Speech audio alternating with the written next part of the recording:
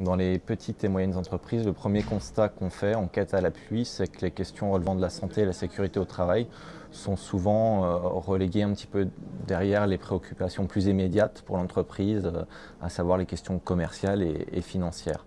Euh, d'où un premier enjeu, en fait, c'est de sensibiliser ces petites entreprises aux enjeux de la santé et de la sécurité au travail et aux enjeux d'une politique de prévention des risques professionnels. Euh, le deuxième constat qu'on peut faire, c'est que bien souvent dans ces entreprises, euh, la question santé-sécurité au travail relève directement euh, du chef d'entreprise et donc de sa disponibilité forcément limitée, d'où la nécessité de lui proposer un relais des acteurs en capacité de l'accompagner dans ses démarches. le troisième constat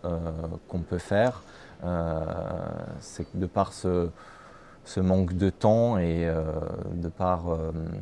l'importance en fait des guides qui peuvent exister en santé et sécurité au travail, euh, les petites entreprises n'ont pas forcément le temps nécessaire pour investir le sujet, d'où la nécessité de proposer des outils assez pratiques et adaptés aux petites entreprises. Sur le, le, site Travailler mieux, on trouve des fiches métiers synthétiques euh, qui dresse un petit peu la liste des principaux risques euh, sur ces métiers-là. On trouve euh, des rubriques qui font des focus sur des risques spécifiques que sont les troubles musculo-squelettiques, la pénibilité ou les risques psychosociaux. on trouve des guides d'aide à l'évaluation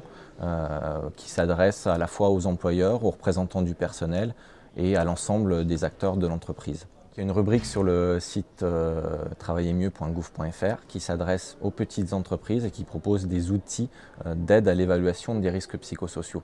Donc sur un sujet euh, assez compliqué, on a essayé de construire une rubrique qui donne des repères simples sur ce que sont les risques psychosociaux. Donc il y a une première partie qui présente un petit peu les lieux communs, un jeu de questions-réponses pour comprendre ce que ça recouvre et les obligations réglementaires en la matière et euh, une troisième partie de la rubrique qui euh, donne les acteurs relais euh, que l'entreprise peut solliciter pour mettre en œuvre cette démarche de prévention.